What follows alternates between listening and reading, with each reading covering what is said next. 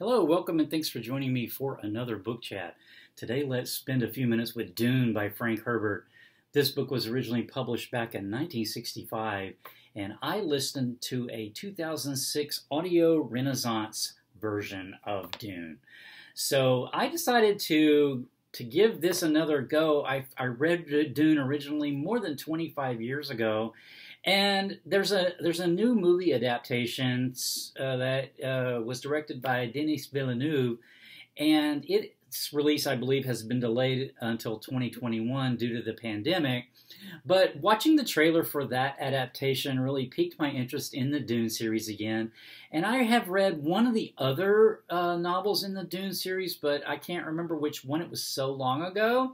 So I decided I would read um, the the the six of the Frank Herbert novels. Um, there are some additional novels that have been published in this universe um, that were written by um, Frank Herbert's son Brian, I believe, as well as uh, collaborating with another another writer.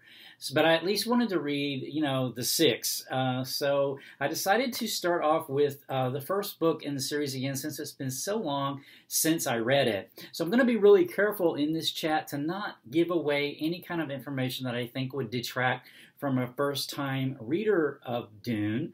Um, so I'm going to be careful about that. But just to sort of describe the main characters in the book, so the book, um, the main character is really Paul Atreides. So we have the Atreides family. They're a noble family that live on a planet called Caladan. They are humans. This is the far human future, many thousands of years in our future.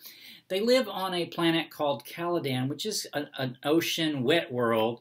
But um, the politics of the day uh, are such that Paul's father, the Duke, Duke Leto, is uh, going to take possession of a planet called Arrakis, which is a desert planet. It's the Dune planet.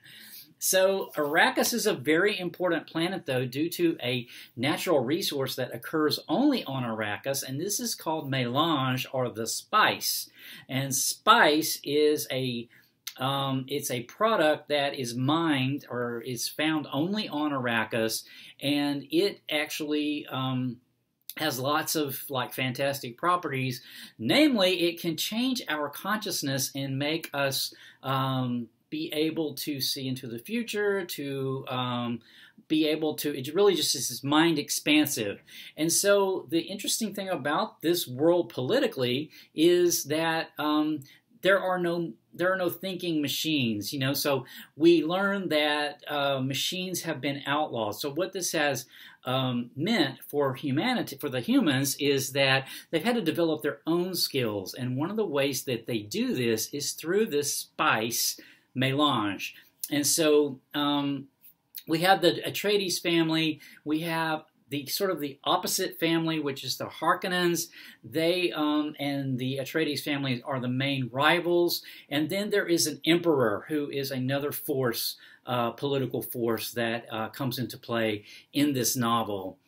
Then we have a couple of other kind of groups as far as power brokers and that is the guild. The guild controls the movement. The, so if you're in faster than light travel, if you're in space, right, traveling from planet to planet, and you don't have thinking machines, you have to have some way to be able to do the calculations, right, and to understand, have the prescience, you know, to be able to see enough into the future that you can figure out um, the the faster than light path as just using your own human brain. And so the guild does this. Um, there are these sort of superhuman type of of people. Well, they're not really superhuman, but they're called mentats, and they are um, humans who have been sort of genetically engineered to have greater computing power, and then they also use, um, you know, the spice, at least the guild in the guild, um, then to make the calculations necessary for transportation. And so the guild controls all the transportation. Then there's this organization, a religious organization. It's run by women. It's called the Bene Gesserit, and so the Bene Gesserit are a group group that have been around for thousands of years, and they practice a form of religious engineering as well as genetic engineering of the genetic engineering, really, of the noble houses, and um, as well as um, sowing the seeds of mythologies all around in the different worlds that then they can use in the future, you know, to their advantage. So Paul Atreides in the Atreides family, his mother is a concubine of Duke Leto, and her name is the Lady Jessica, and she is a member of this order called the Bene Gesserit. And so she has, uh, typically, she was instructed by the Bene Gesserit to bear the Duke a daughter, which is their typical way of um, sort of um, continuing on their line, but she uh, disobeyed and bore him a son, Paul. Um, so Paul takes on a whole different religious and sort of power role within this novel. So um, yeah, um, the some of the ideas that I had around the book, though, um, there's a, there's a there's a the main book the, the main kind of point of this book, I think, is this struggle between the, the Harkonnens and the Atreides. So, as I mentioned, the Atreides are going to leave Caladan, their sort of wet world, um, and then they're going to move to Arrakis, which is a desert world, and um, so they do this right at the very, beginning of the novel. There are some native people who live on this desert world. They're called Fremen.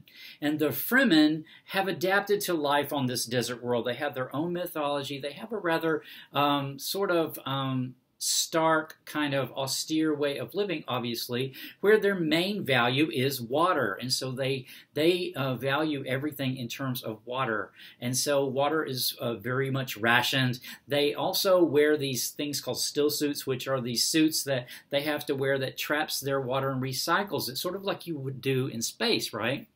And so the Fremen are very knowledgeable about life on Arrakis. And so eventually Paul and the Fremen do inter, interact, um, you know, quite a bit. The, the Fremen have earlier in um, history had um, contact with the Bene Gesserit, who have the Bene Gesserit have actually seeded some mythology among them, um, and you know uh, then they start recognizing Paul as uh, this sort of uh, leader figure that they have been waiting on in their mythology.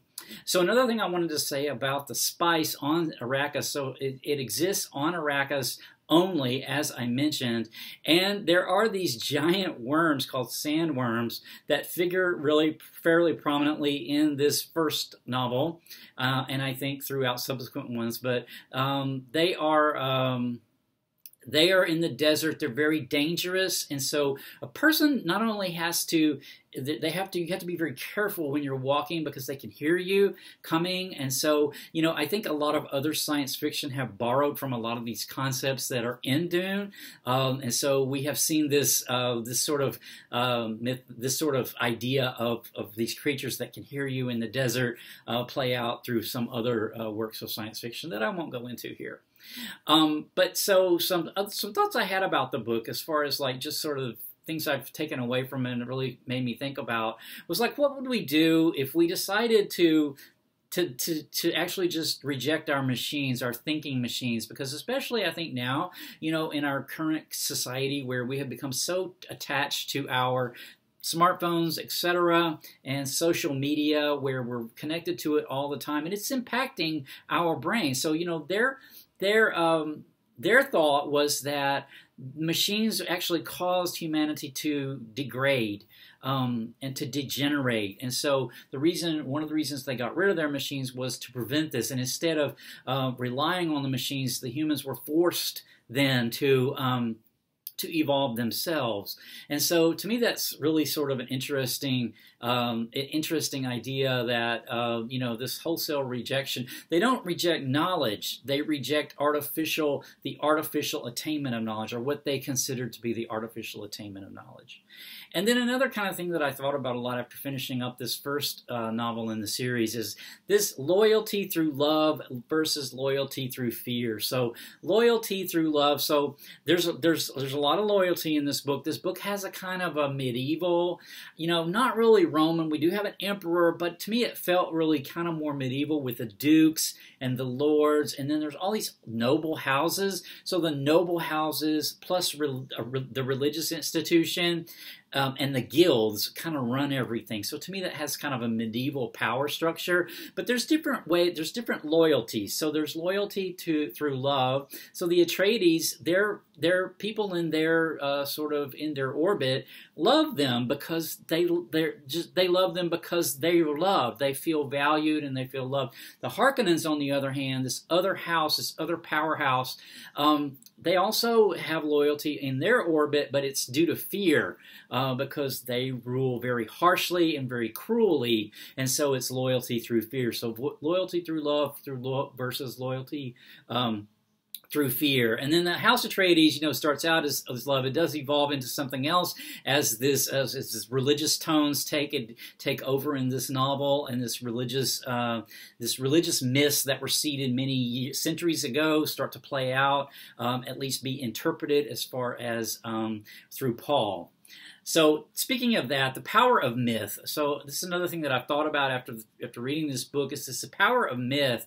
Is that the Bene Gesserit order years ago has set up these planted these little seeds of myth, and so the Fremen that live on the native people who live on the Arrakis world, you know, they have developed this whole mythology around around their you know their savior, their Messiah, and so. Um, Paul understands this because Paul, uh, being a, a, son of a Bene Gesserit, he was trained in the Bene Gesserit way. His mother, Lady Jessica, was of that order, and so he was trained in this way. So he has their skills, and they have very sharp skills. Like they call it weirding way, and there's this voice thing that they can sort of control people through talking. Um, they have a certain pres, pre, sort of precognition, but then the spice, of course, adds to this. Um, so Paul can see many avenues into the future. He can see like different. At one point, he like talks about um, if he uses one word different the future will go off into a, a, different direction. So there's many strands of possibilities into the future, and Paul can see those different possibilities. And so to me, that was really, uh, really cool. So along those lines about fate versus free will, another thing I've thought about after reading this book is that there's a certain amount of fate. So fate is the choices that Paul's making, um, you know, through the novel. But um, I mean, free will is the choices Paul's making through the novel. But fate, he sees like really there's only one outcome. He's like trying to figure out a way to avoid this outcome that he sees into the that he sees for the future, but you know, it really almost seems like that's fate. However, there's different avenues towards that, and it's different severities, um, depends on what he does, and that's free will. So, free will versus fate, which I thought was pretty cool to think about. So I think I will stop this chat there. Um, I am in the process also of reading book two, which is called Dune Messiah, and I will have a chat on that eventually. But my next chat is actually going to be The Consolation of Philosophy by Boethius, which I have finished, so I ha should have a chat on this coming up fairly soon. So until next time, take care. Bye.